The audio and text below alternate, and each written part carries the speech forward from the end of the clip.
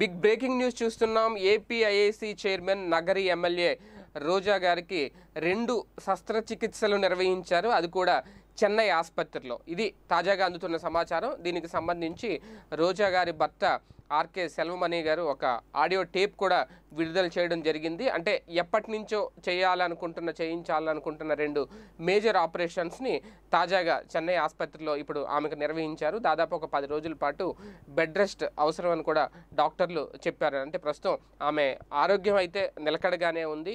ఎటువంటి ఇబ్బంది లేదు. కానీ బెడ్ రెస్ట్ అవసరం అని చెప్పి అంటే రోజా గారి అభిమానులకు కానివ్వండి లేదంటే వైసీపీకి చెందిన కొంతమంది నాయకులకి నియోజకవర్గానికి చెందిన నేతలకి ఒక మెసేజ్ అయితే ఇచ్చారు. కాకపోతే ప్రస్తుతం ఆమెను ఐసీయూ వార్డు నుంచి సాధారణ వార్డుకు కూడా ఆల్రెడీ తరలించేశారు. మరొక రెండు వారాల పాటు ఆమె ఎవరికి అందుబాటులో ఉండరు.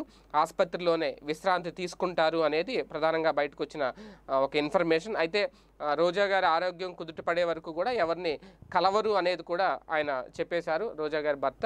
కాకపోతే ఎవరు సందర్శకులు ఎవరు కూడా ఆసుపత్రి వద్దకు రావద్దు అనేది కూడా ఆయన చెప్పిన మాట. అంటే ప్రస్తుతం ప్రస్తుతం పరిస్థితులు దృష్టిలో ఉంచుకొని. కాకపోతే ఎటువంటి ఇబ్బంది లేదు. ఆరోగ్యం ఎటువంటి ఇబ్బంది లేదు. కుదుట పడింది ప్రస్తుతం.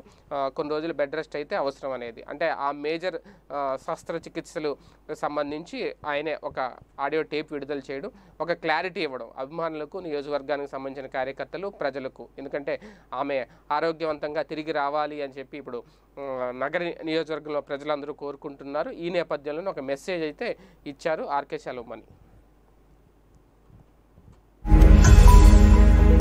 వీడియో గనక మీకు నచ్చినట్లయితే లైక్ చేయండి షేర్ చేయండి.